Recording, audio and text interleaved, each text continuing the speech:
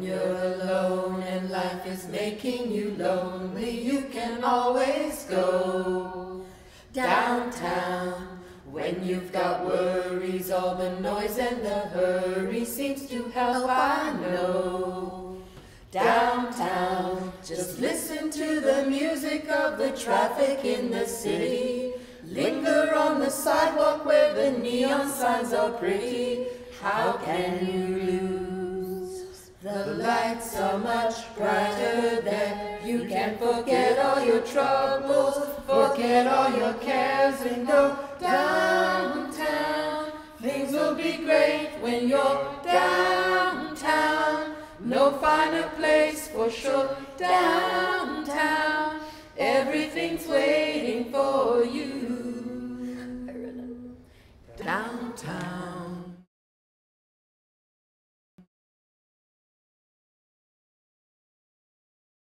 I realized that uh, I hadn't celebrated Christmas for a decade, I think. And um, that uh, such is life down in those urine and uh, vomit smelling alleys. One day can just hazily drift into the other until suddenly two or three years have gone by. There are at least three or four years that I can't account for, and one day after another, the same. It was uh, Christmas Day, 2010, I believe, and I wearily dragged myself down to the kitchen where the girls were putting the last minute decorations on the tree. I faintly thought I heard some uh, angels singing, and as, uh, in the kitchen, I could hear the sound getting louder and louder. And what do you know? The Rainier has carolers. that was wonderful. Well, I uh, boldly suggested that I could accompany them on the piano down in another room. And um, they cheerily agreed, and we all went down and um, I played the piano and they sang Christmas carols. And everyone is gathered around the piano. And I don't know, I had never done that before. And the, just the love and acceptance took all my fears away.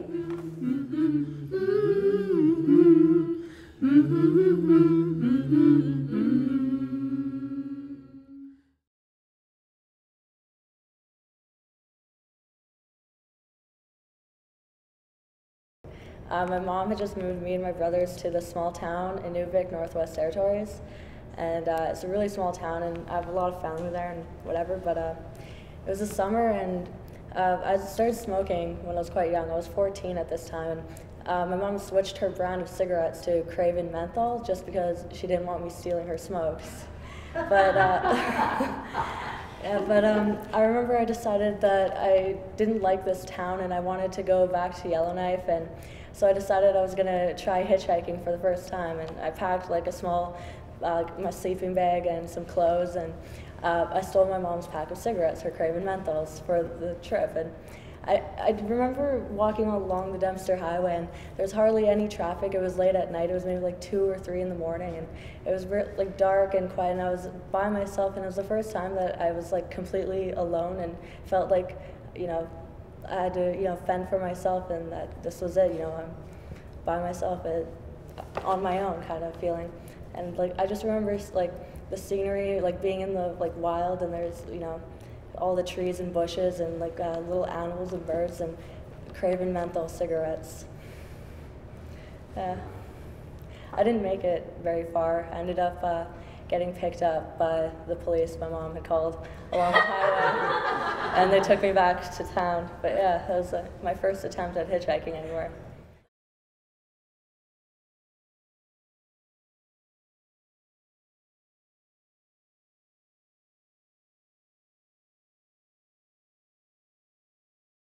So that day when I left, we prayed and then we cried together.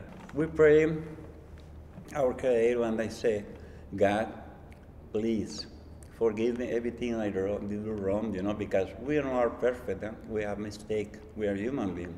Everybody have, you know, from one way or the other have mistake. So my, my grandmother and me praying about forgiving my mistake, protecting forever I going. And I left, reached Vancouver because this is my goal. 1968, when I working at Tuna Fish Boat, I met Vancouver and I love. I went to the Stanley see people playing drums, dancing, playing guitar. I said, oh, this is the place I want to be. So thinking in the future, I say someday I left my country for any reason. This is the place I want to be, Vancouver, BC. Cost me a lot of years, you know. I left my country in 1978 and I reached Vancouver in 1990. But I, I here. That's why I say I, I believe in miracles. When I jump in the river, illegal, you know, naked like a rugby, chum, without no, no clothes on them. And I reach the other side, you know, wet, so I just, no, no towel, just, just, you know, drying myself like that. I put my clothes on there, my underwear, my socks and everything. So immigration is right there, you know, American border. So I go jogging, you know, like I do every side, and I say, good morning, sir. Oh, good morning. You do something? Yes, sir, I'm jogging. So I sweat because, you know, they thinking I'm sweating because I do some exercise, but I sweat because the river, I swimming. So I pass and thank to God, not, not cut me. So till now. And so many people come with money, traveling and playing in first class and buses and they never made it. And I know, hey, I left my country with 25 cents in my pocket. And you see what I am? That's why I believe in miracles.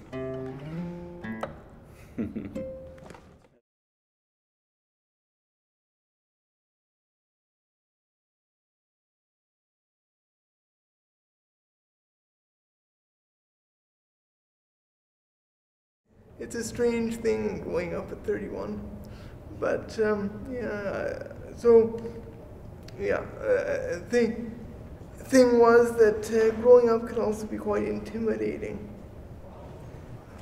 I was born and raised just outside a little town called Fernie in it's very far away from here. And I, I, I was raised in what I call a quilted vacuum flask, which means that I was very safe, very secure, but there, there was really no need to grow up in any particular way.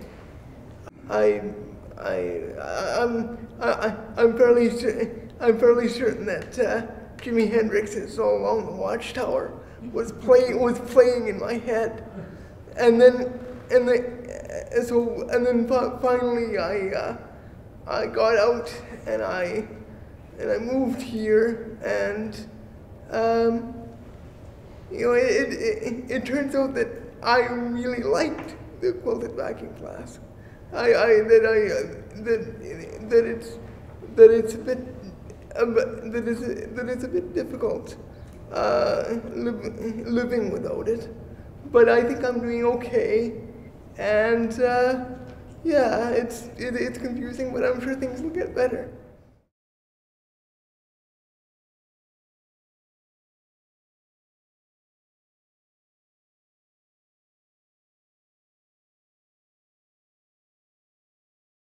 When we were on our way to Canada, uh, we were on the uh, Air Canada plane. It was now called Canada 2000. Uh, it was uh, uh, turbulence in the air, so I was wearing white pa- uh, nice white pants from from guy from which I which which was bought in Guyana and Georgetown, and I accidentally spilled Pepsi on my pants, so so I couldn't drink Pepsi for one month, and um, so so so my parents said to drink Sprite and Seven Up, so now I drink so now I drink beer now when, when I came to Vancouver. Denise, ah, never ever fall in love with Canadian. No, no, no, no, no. No school's so lazy. But things don't happen the way you want them to, Mom. And um, I met a guy um, who was smart and honest and treated me well.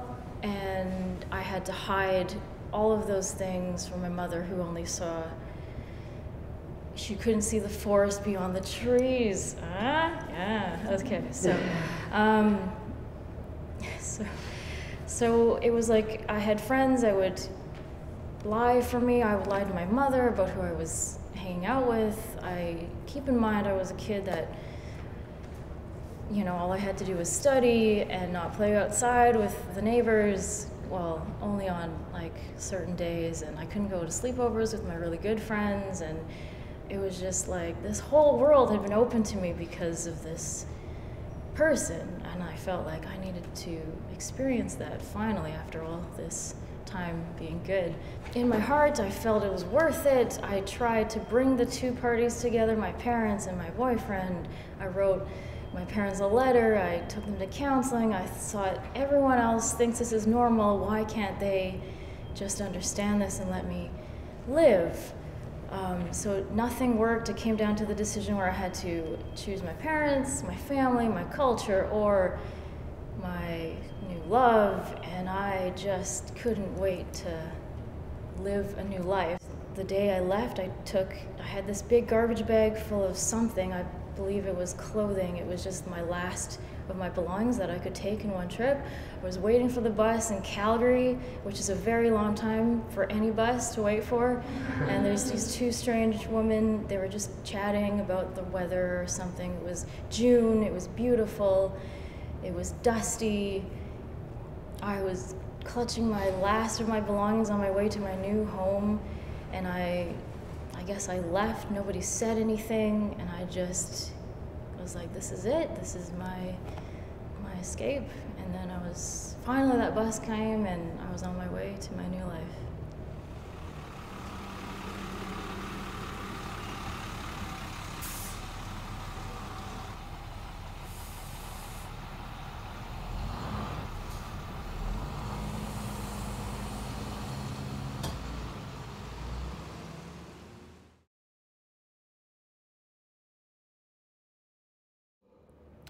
I'm originally from El Salvador, but my family uh, and I moved to Guatemala uh, for a little while because we had a bit of a civil war going on in El Salvador for about 14 years, and we just didn't like the atmosphere. So when we got accepted to come to Canada, uh, we couldn't bring everything that we owned. Um, so my parents took it upon themselves to look through the things that I had and to throw out some of those things and to keep some other ones. Now, uh, the way adults think and the, and the way adults think uh, versus the way that kids think. I'd moved so many times because I lived in Costa Rica and El Salvador, and I lived in a lot of different houses. Um, the only things that I had to connect to myself, to my identity, the only friends that I really had throughout all that were my childhood toys. Um, but my parents looked at these old, raggedy, broken things and thought, we'll throw those out. And then the things that we bought him for his birthday, we'll keep those because they're not shiny and they're new and they're much nicer. Um, so when I came home one day and all my old toys from when I was like two and three or whatever were missing, um, I started crying and I probably didn't stop crying until like a couple months after we got into Canada. Um, at this point is when I started exploring my spiritual side because I started praying to God that somehow, some way, I could get my toys back. After doing that, and that, that was a long time because that was, I think, my first real experience of loss uh, that I ever had. And uh, I was seven, by the way, when this was going on. Uh, I must have prayed every day for a year or so. And then one day I just prayed that maybe some kids had found these toys in the dumpster or something and that they had a nice new home.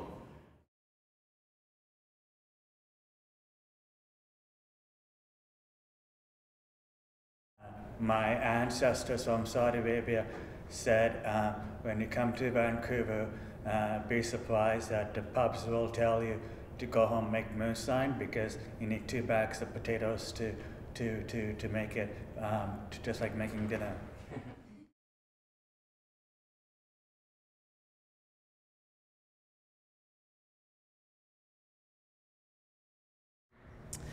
His name was Ori, and we never talk about him anymore. It's as if if we don't acknowledge him or remember that he was born, he never existed. Because there is that one day at the end of the summer, late August, we're all at the beach of the Great Lakes on Lake Erie. The sand was hot, but it was a windy day. And my family, my cousins, my aunts and uncles, we were all there together. And my brother was in the water. And the waves were pretty high because the Great Lakes is very similar to the ocean in that it's so big. The waves can get pretty high. And he was only five. He just had a little boy's body. He just hadn't. I can't even remember if he was. His imagination was was growing, and he was my best friend. And I remember being there stuck in the sand, unable to move, watching him struggling way out in the water, and I was unable to help him. And his head was there, his arm was up, and he was calling for help. And I wasn't able to help him, and the adults weren't able to help him. We were at the mercy of whatever greater forces there were in the world. And his head went under the water, and that was the last time I saw him alive. And later, an hour and a half later, after they had found his body and he had been taken to the hospital, and my family, my cousins, and my aunts and uncles were all waiting there in the living room. No one knew what to say. There's this heavy sense of suspension, being suspended, not knowing, you know, between life and death. And I'm 10. I don't know. I don't understand what's going on. And my mom came back and she came in and she said, Tori's dead. And my aunts and uncles knew what that meant and they cried, but my cousins and I, we were all younger. We didn't know, but we knew something sad had happened, and we all gathered around and we hugged. And that was the last time I ever felt really close to my family, because since then, we haven't spoken about it. And it was like when I saw him drown, my whole childhood was gone with that. And that was the moment that things were never the same afterwards. And I had to become not an adult, but I wasn't what I was before. And that moment with my brother drowning was like a key that was given to my heart because since then, part of growing up for me was having to be really close to my heart. And that moment unlocked what it meant to feel. Because grief, grief is like fire and it will burn you and it will purify you. And that was the moment when I grew up.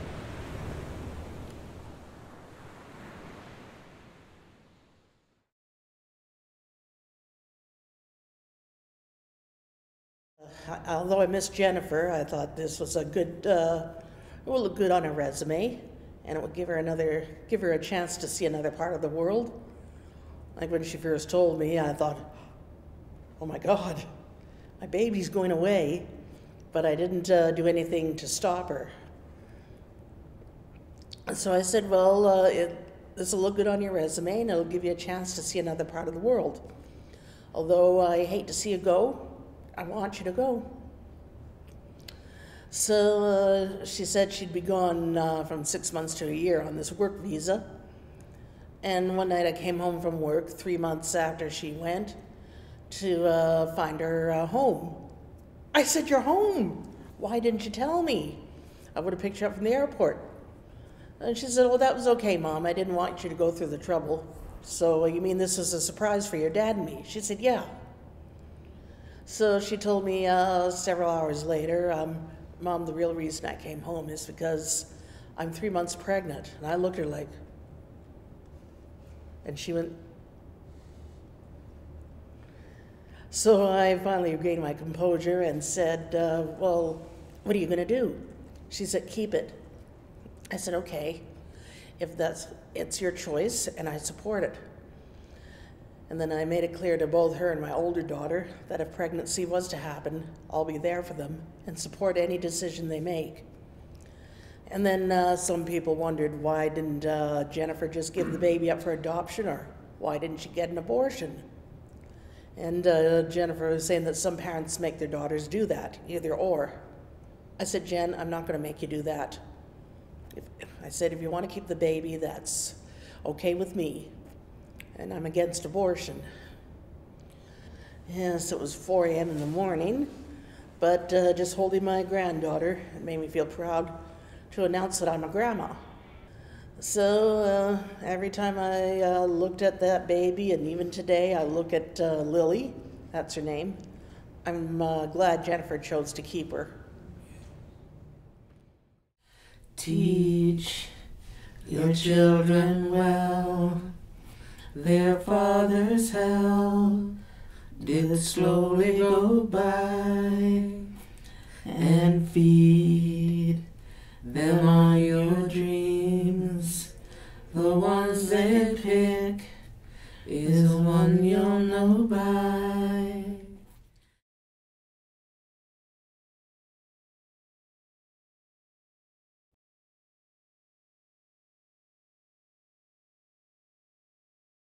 Two and a half years ago, I tried here.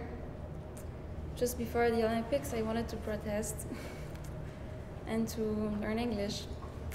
And a few months after, I checked back to Quebec during the summer. And something happened there that I was not expecting. I wasn't planning on that. Um, just before coming to BC, I, I had quitted like college and work. And so when I went back this summer, I saw like a teacher that I that I had been, I have I had like um, a relationship in the past with him, my philosophy teacher, philosophy.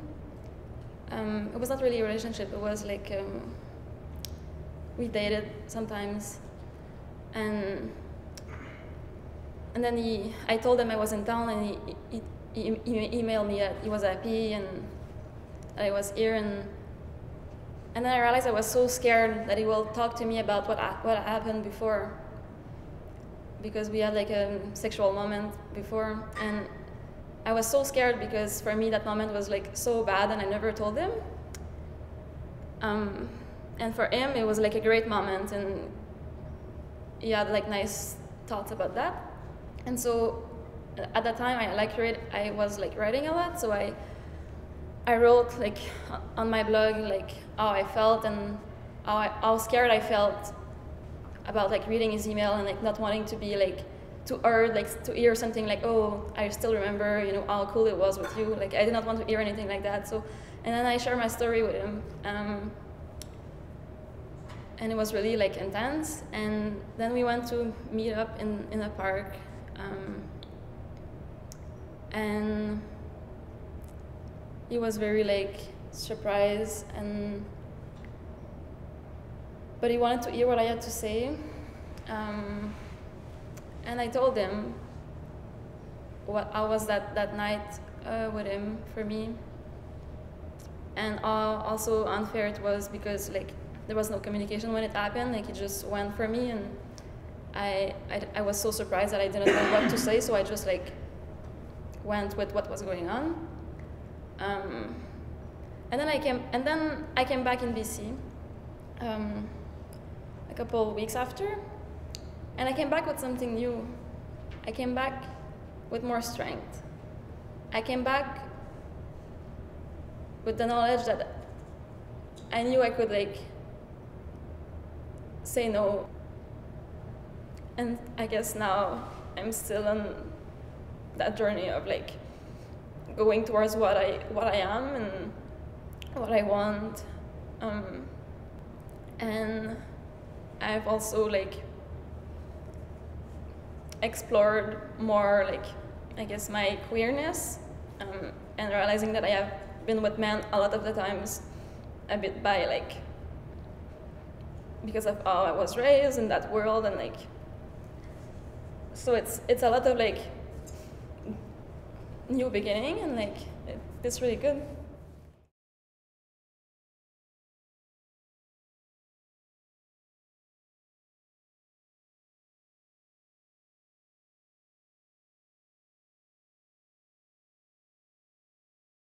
My counselor suggested I talk to my mom about my problems. I went to talk to my mom, but my mom lived a hard life. And so the problems that I had, she didn't understand how that affected me and how that caused me to have emotions. And so she sent me to a camp. And this camp was 14 days in, climbing a mountain with 70 pounds on your back.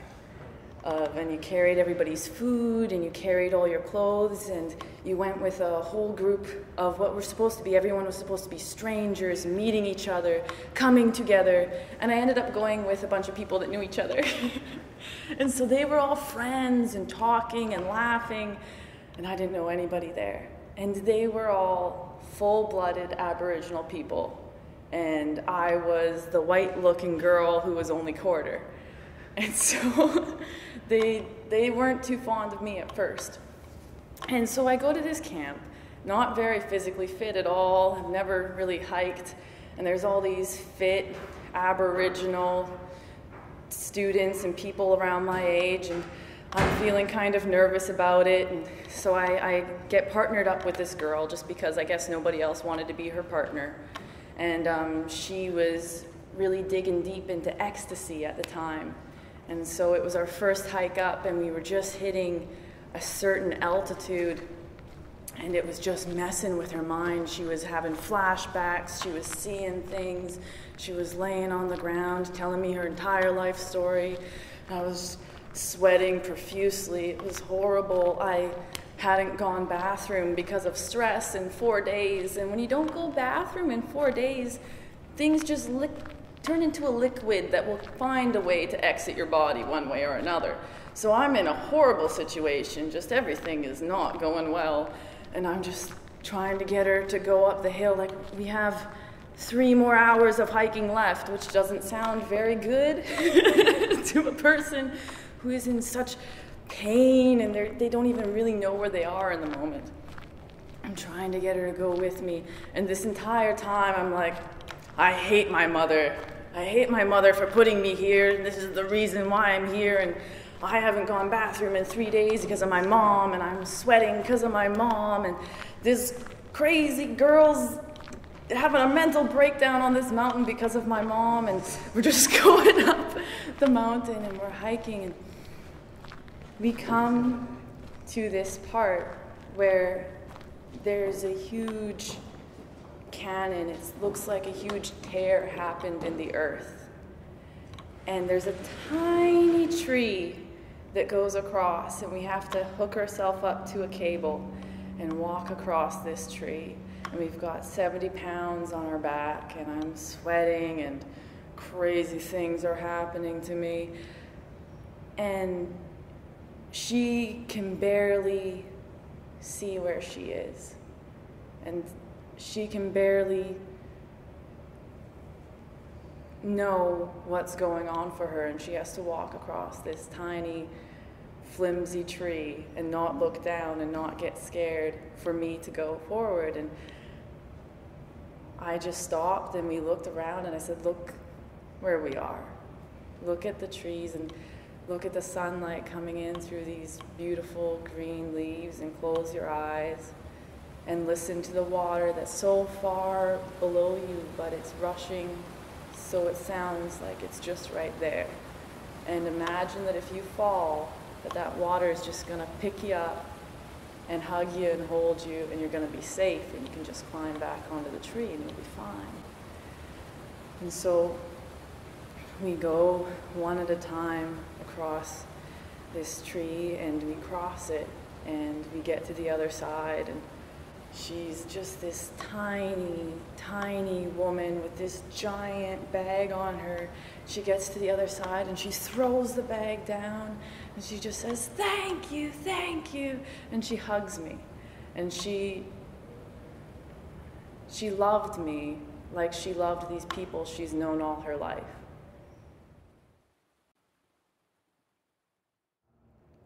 Sitting at the corner, just passing the time of day, we heard the little um, popcorn grinder singing as he played.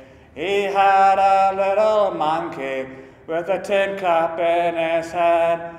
And this was singing, this was his command. He said, Love me, love me, love. Why did the other players go? Said, Love me, love me, love. Why did he ever go?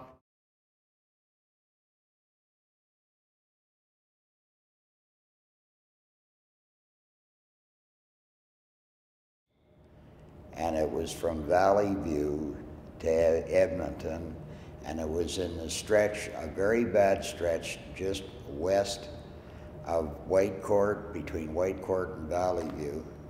Very desolate in this area. And you're on the loneliest stretch of road that you could be on. And one night when I was coming back from a trip, I, was, I had all the bad driving conditions in the world blowing snow, snow, everything going wrong weather wise.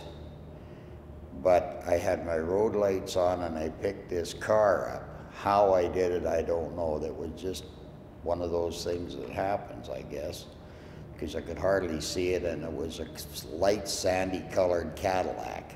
And why they ever come up with colors for cars that match roads, I'll never know.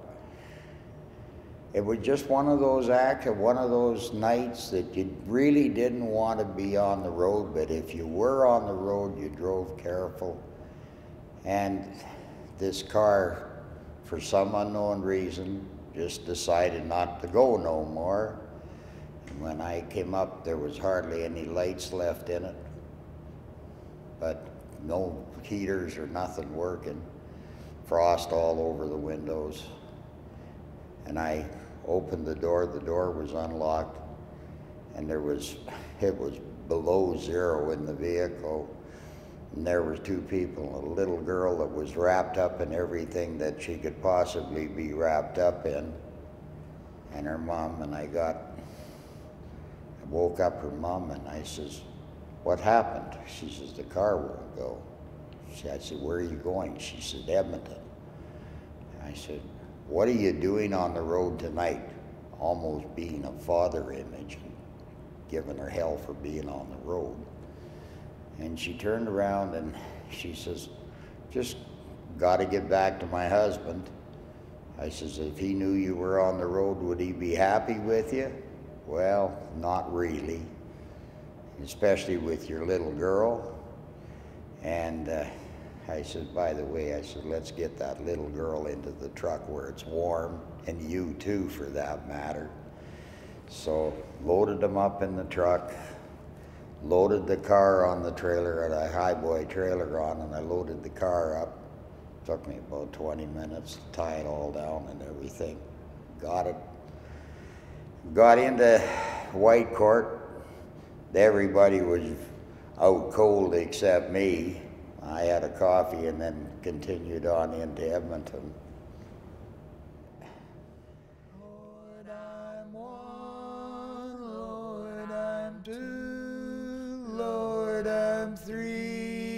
Lord, I'm four, Lord, I'm five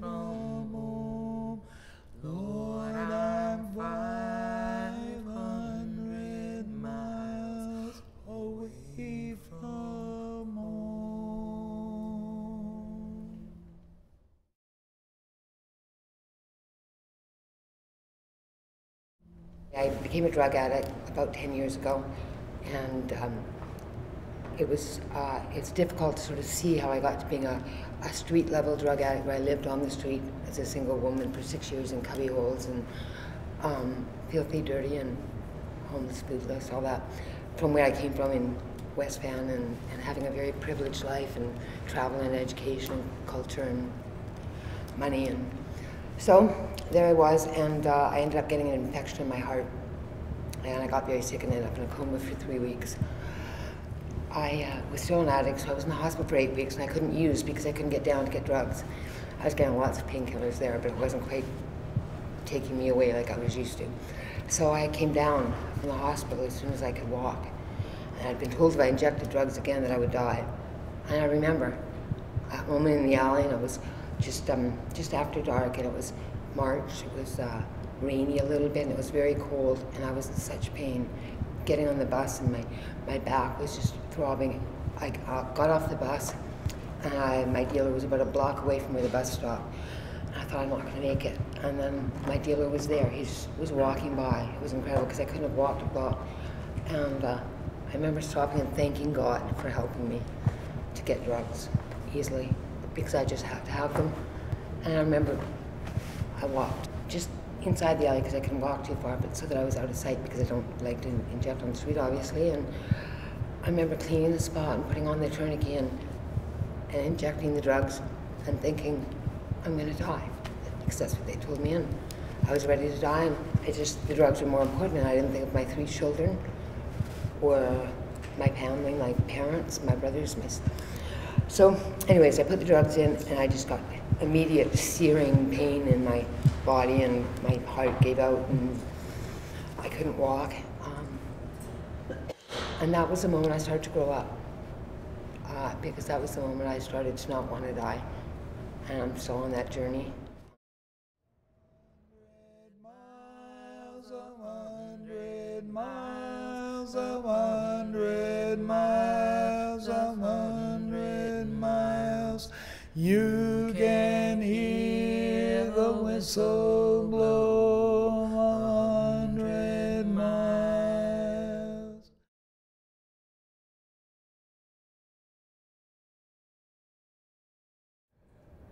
After every other day of coming out of my cell uh, for a three minute shower, um, after spending a, a, year in solitary confinement, uh, we they opened up the yard, came out, and I'm laying on the grass thinking, uh, now that I've got some fresh air,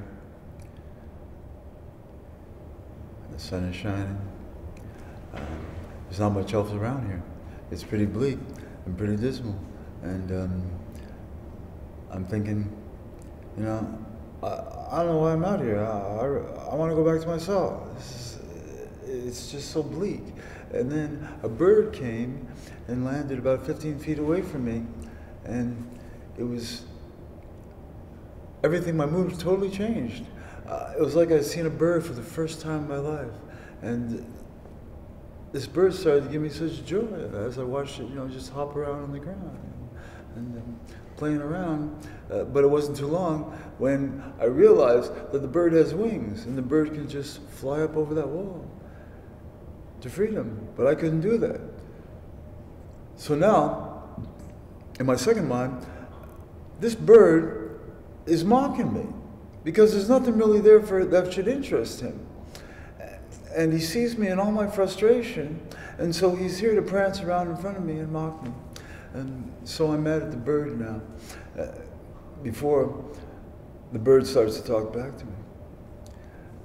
And the bird said to me, Marc, who told you this is a prison? Did man tell you this is a prison? And who is man to tell you such a thing when is just another place to be?